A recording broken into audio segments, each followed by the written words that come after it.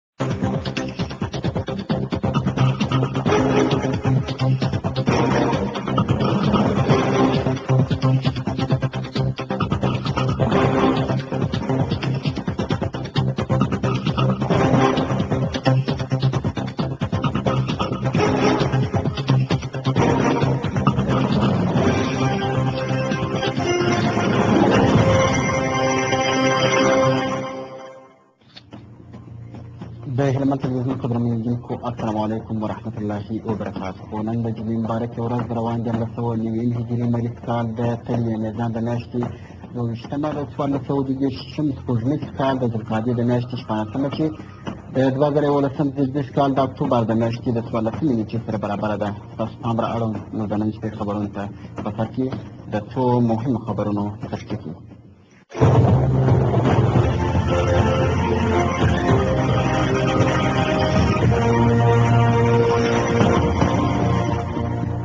کې د حرفوي زده کړو د مرکز د بنسټ ډبره کښېښودل شوه په واشیر کې تر دې دمه درې ښوونځي فعاله دي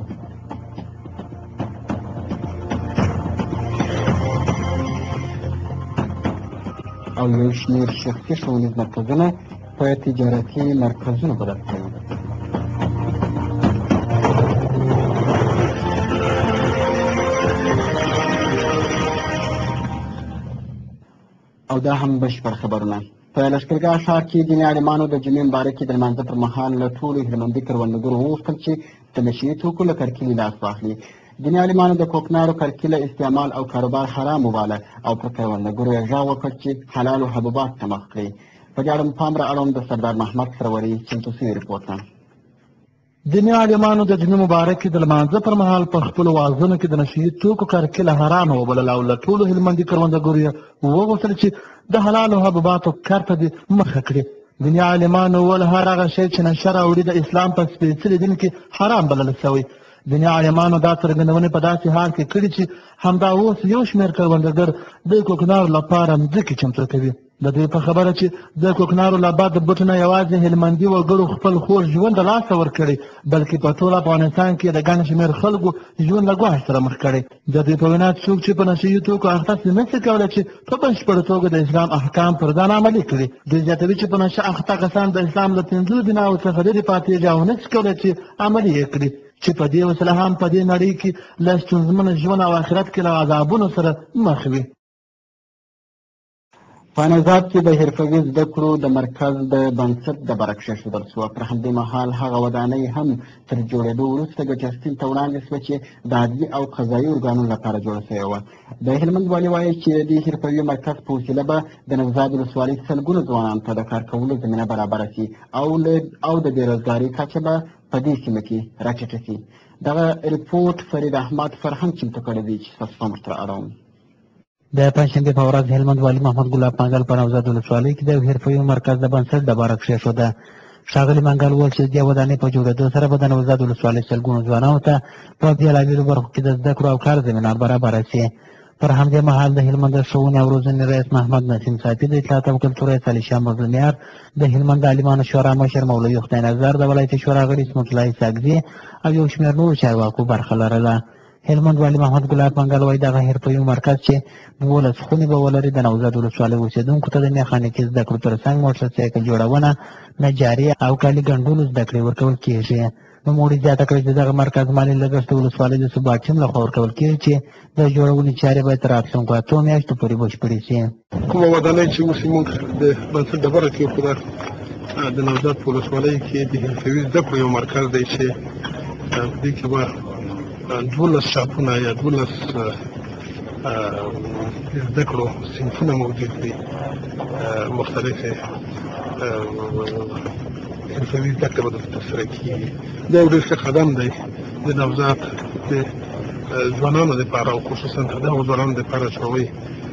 کوم کسب او کار نه وي زده دلته به زده کړې کېږي او بالاخره بیا به د خپل فامیل دپاره د خپل کورنۍ دپاره د نفقې دپاره به د دې شغل او د یوې حرفې څښتنه کېږي د یو بل خبر له مخې هلمند والي د عدلي او قضایي ارګانونو لپاره هغه ودانۍ هم تر رغونې وروسته د پټۍ په پرېکولو سره پرانیستل چې د عدلي ریاست د حقوقو مدیریت څارنوالۍ او ابتدایه محکمه به پکښې خپلې چارې پر مخ وړي د ده په وینا اوس مهال په نوزاد کې د حقوقو مدیریت خپل خدمات سرته رسوي چې په نږدې راتلونکي کې به څارنوال او قاضي هم ورواستول شي د نوزاد ولسوالۍ د عدلي او د قضایي سکتور د شوباتو لپاره د حقوقو مدیریت د ولسوالۍ ابتدایي څارنوالي او ابتدایي محکمه تر اوسه پورې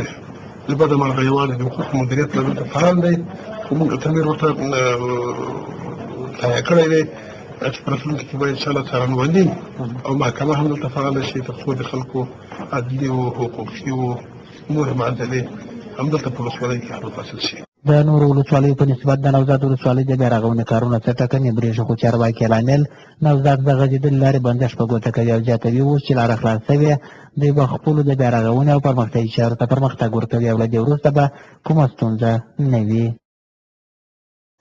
د نوزاد پولیسو وسلې او چاودېدونکي توکي نیولي. د نوزاد امنیه قومندان وايي، دغه وسلې او نشه یي توکي یې د سلام بازار او جازي په سیمو کې د دولت د وسله والو مخالفینو پر وړاندې د چاڼیزو عملیاتو په ترڅ کې ترلاسه کړي، خو په تور یې تر دې مهاله څوک نه دي نیولي. یو ځل بیا هم فرید احمد فرهنګ.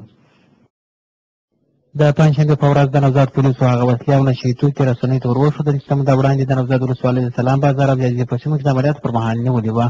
پر همدې مهال د هلمند والي محمد ګلاب منګل د نوزاد د پولیسو له هلو ځلو نه مننه وکړه او زیاته یې کړه چې په نوزاد کې ټول امنیتي ځواکونو په ځانګړې توګه پولیسو له ځانه پوره وړتیا ښودلې او د نوزاد اوسېدونکو ته د سولهییز ژوند زمینه برابره کړې ده د نوزاد امنیه قومندان سرکارمن عطاالله هلمند تلویزیون ته وویل چې په دې وسلو او نشي توکو کې شپږ میله درې سوه درې ملي متري توپ یو میل کلاشنکو پنځه کیلوګرامه تاریاک او نیمن چارج شامل دي نوموړي وایي دا مهال هغه سیمې چې تر دولتي حاکمیت لاندې دي هیڅ ډول امنیتي ننګونې وجود نه لري او هڅه روانه ده چې د نوزاد ولسوالۍ په ټولو برخو کې امنیت تامین او خلکو ته یې د یوه هوسا ژوند زمینه برابره کړو د سلام بازار په عملیات کې او د جازي په عملیات کې چې موږ دلته عملیات کړی وو او پوستې مو د دښمن څخه مو مسکې ترلاسه کړې دوی ورس خاص خاص هم چې دغه سبت سبتان او دغه دغه سبتان چې د نشان زنان څخه دي دوی د دغه څخه ډېر استفادې کوي هغه دې سره دښمن څه تښتېدلی دی چې لپاره یې موږ سره پلاټ چې د فکرو په ډول پک شوي دي او موږ راولي ترلاسه کړو دا ویل دي چې د نوزاد د لوی لارې په خلاصېدو او د امنیت په نیول کېدو سره په نوزاد کې د خوراکي او غیر خوراکي توکو بیې رالوېدلي او اوس دولت او خلک کولی شي د لښکرګانه په ښه توګه اکمالات ترسره کړي په واشیر ولسوالۍ کې وروسته تر څو کلونو د لومړي ځل لپاره زده کوونکي ښوونځیو ته ولاړل د واشیر ځایي چارواکي وایي چې وروسته له ډېرو کلونو یې دوه ښوونځۍ د زده کوونکو پر وړاندې پرانیستلې چې په سلګونو زده کوونکو ته د زده کړې زمینه برابره شوه په دغه اړه پام را اړوم چمتو شوې رپورټ د واشیر ولسوالي تر پنځو کلونو وروسته د دولت تر حاکمیت لاندې راغله په دې ولسوالۍ کې له ډېر مدیره په دې خوا د زده کوونکو پر وړاندې د ښوونځیو ورونه تړل شوي وه د واشیر پر سیمه د تیرو څلورو میاشتو را په دې خوا د افغانستان اسلامي بیرغ ورپول شو چې له هماغې مودې راهیسې پکې سوله راغلې او وګړو یې عادي ژوند پیل کړی په سیمه کې له نورو پرمختیایي چارو سره جوخت د پوهنې بهیر هم د غوړېدو په حال کې دی چې وروسته له پنځو کلونو یو ځل بیا زده کوونکي ښوونځیو ته ولاړل د واشیر ولسوال محمد داود نورزی وایي چې په واشیر کې تر اوسه دوې ښوونځي د زده کوونکو پر وړاندې پرانیستلي چې تر دوو سوو زیات زده کوونکي پکښې زده کړه کوي نورزی وایي هڅه کوي چې د دې ولسوالۍ تړل سوي دولس ښوونځي او یوه دیني مدرسه هم د زده کوونکو پر وړاندې پرانیزي نورزی د پوهنې له چارواکو غوښتنه کوي چې د واشیر ولسوالۍ هغه ښوونکي د ولسوالۍ ته ورواستوي چې د تېرو څو کلونو را په دې خوا د واشیر د ښوونځیو په نوم تنخواګانې ترلاسه کولې د ده په خبره د ښوونکو د نه شتون له امله په سیمه کې د څو رضاکارو لوستو ځوانانو او ځایي روغتیايي کارکوونکو په مرسته زده کوونکو ته زده کړې ورکوي دا چې د واشیر ولسوالي بعد څو کاله د دولت د مخالفینو د ولکې څخه ووتل او د دولت تر حاکمیت لاندې رااله او د قانون تر واکمنۍ لاندې رااله هلته دولتي اداره فعاله شوله د دې ادارې په تسلسل د نورو څو مدیریتونو چې فعاله شوي د هغه په څنګ کې د معارف مدیریت هم فعاله شو چې په اوله ابتدا کې دوه مکتبه چې یو د مرکزي واشیر او دوم د ګورزان د مکتب په نامه چې هغه رسمیت لري دا دوه مکتبه موږ فعاله کړله چې دا اوس عملا تاسو د کمرې د لارې وینئ چې د واشیر په مرکزی مکتب کې تقریبا یو سل درې شپېته ارکان شامل کړي دي او د دا به لړۍ به جریان ولري موږ پلان لرو چې دا مکتب تر درې نیم سوه هلکانو پورې ورسوو او هلکان سته په آهسته آهسته موږ شمول کوو او د ګورزان مکتب پنځوس هلکان اوس موږ یو شمول وکړي چې هغه د زنو د ګورزان الکوان دي او موږ کوشش کوو چې دغه دغه الکوانو چې دادم دوه سوه نفرو ته ورسوو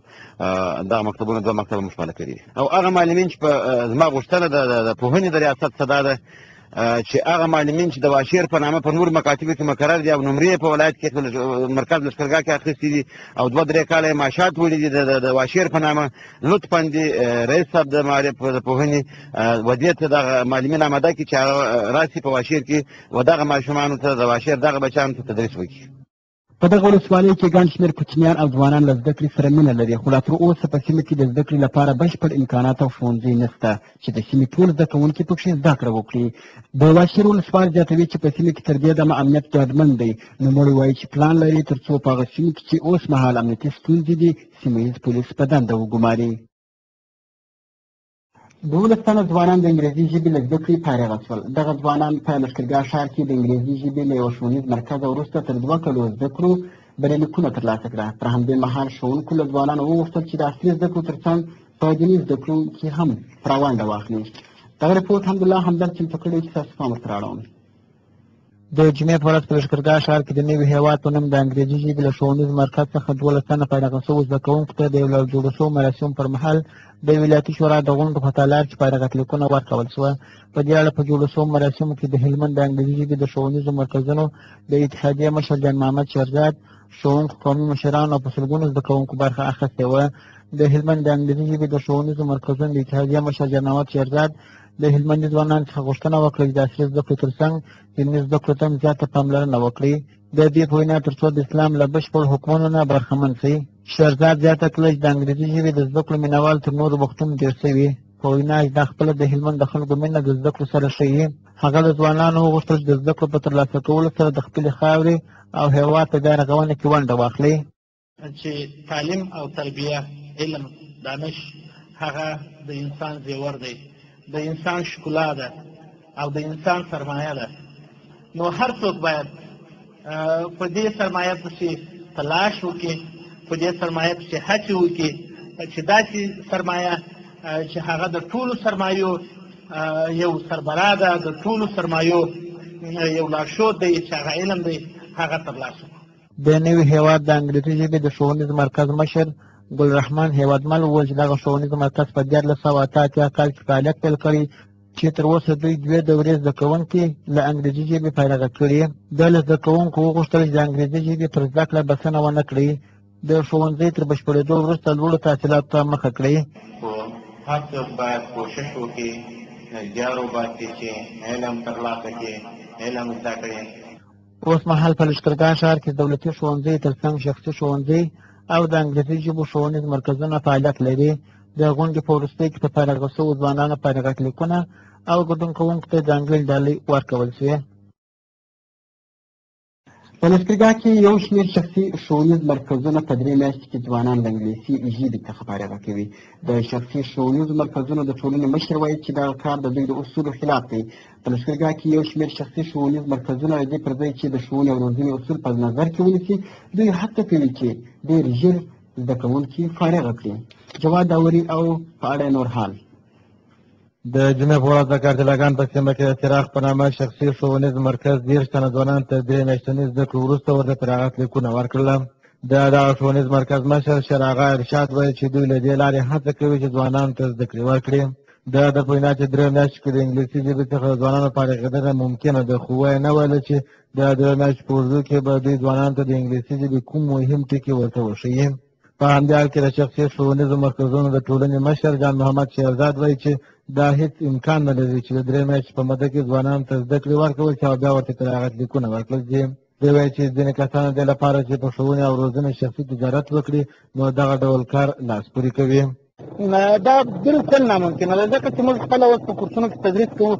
یوازې اکتیو کتاب چې هغه ډېر کوچنی کتاب دی موږ شاګرد په درې میاشتې کې دې ته نه دی آماده کړی چې هغه دې په درې میاشتې کې اکتیو زده کړي دا څه ښیي چې د دوه نیم کاله کورس موږ په د انګلیسي ورکوو خدای دې هغه وتوانېږي او دغه درې دوه نیم کاله کورس دې په درې میاشتې کې زده کړي او په انګلیسي کې دې خبرې وکولی شي. په همدې حال کې یو شمېر نور ښوونکي هم وایي چې که درې میاشتې په اوږدو کې ځوانانو ته زده کړې ورکړل شي نو فارغ شوی ځوان هېڅکله نه شي کولی چې له دې زده کړو څخه په کوم دفتر کې کار واخلي. یو څوک یو ماشوم چې د مور نه پیدا شوی بیا تر پنځلس کلنۍ پورې شپاړس کلنۍ پورې چې خپل په مورنۍ ژبه چې هغه فارسي یا پښتو دی هغه دومره مهارت نشي ترلاسه نشي ترلاسه کوی نو دا به هېڅ امکان ونه لري چې دا یو بهرنۍ ژبه چې هغه یو خارجي ژبه ده هغه انګلیسي ژبه ده یو څوک په درو میاشتو کې د درو میاشتو په لړ کې هغه به د انګریزي په ژبه کې معلومات ترلاسه کړي دا هېڅ امکان نه لري چې په درې میاشتو کې یو څوک وکولی شي چې هغه یو بشپړه یا په پوره توګه باندې یو بل ژبه زده کړي په دې خاطر باندې چې موږ په دې کې ښه تجربه لرو ځکه چې هغه شاګردان اوله پلا هغوی خپل ژبه نه زده کولی نو هغوی څنګه کولی چې په درې میاشتو کې د بل ژبه زده کړي ځکه چې درې میاشتې هېڅ امکان نه لري دا څو برخې لري هغه نه شي کولی ځکه چې دا یو خو نظامی برخې لري هغه صحي برخې لري هغه ادبي برخې لري څو برخې لري نو دوی نشي کولی چې حتی یوه برخه یې په درو میاشتو کې زده کړي په هلمند کې د شخصي ښوونیزو مرکزونو د کنټرول او څارنې لپاره یوه اتحادیه جوړه شوې خو تر دې دمه دغه اتحادیه هم نه ده توانېدلې چې د دغه ډول خپل سرو ښوونیزو مرکزونو مخه ونیسي د هلمند تلویزیون قدرمن لیدونکو دا و زموږ د نشرې خبري سرویس چې تاسو ته مو وړاندې کړي له ملتیا مننه کوم تر بیا هم پر لوی او بخښونکي خدای سپارم خو د هلمند راډیو تلویزیون ویبسایټ مه هېروئ د خبرونو ترڅنګ په دغه ویبسایټ کې د تلویزیون خپرونې او بېلابېل د کتلو وړ مقالې شته همدارنګه هلمند راډیو په دې پاڼه کې په څه نوي ساعته او ژوندۍ توګه تاسې اورېدلی شئ زموږ د ویبسایټ پاته ده ایچ آر ټي ډاټ ای ایف بله دا چې هلمند راډیو تلویزیون د فیسبوک په ټولنیز شبکه کې هم موندلی شئ ادرس یې دا دی چې هلمند راډیو ټي وي تاسې پیدا کولی شئ او په انیال کې خوښولی هم شئ تر څو ورځني مطالب او ویډیوګانې تاسو ته ښکاره کړي که چیرې مطالب او خپل نظرونه راسره شریکول غواړي نو په دې پته راته ایمیل وکړئ نیوز اټ ایچ ار ټي ډاټ ای اف او یا هم د ټلوفون په دې شمېره راسره خپل نظرونه وړاندیزونه او ستونزې شریکولی شي صفر اوه سوه نهه نوي اوویشت څلور ویشت اته دېرش د هوا د وړاندوینې په خپرولو سره مو نننۍ خبري ټولګه پر همدې ځای پای ته رسېږي له ملتیا مننه چې بیا هم پر لوی او بخښونکي خدای سپارم خدای پامان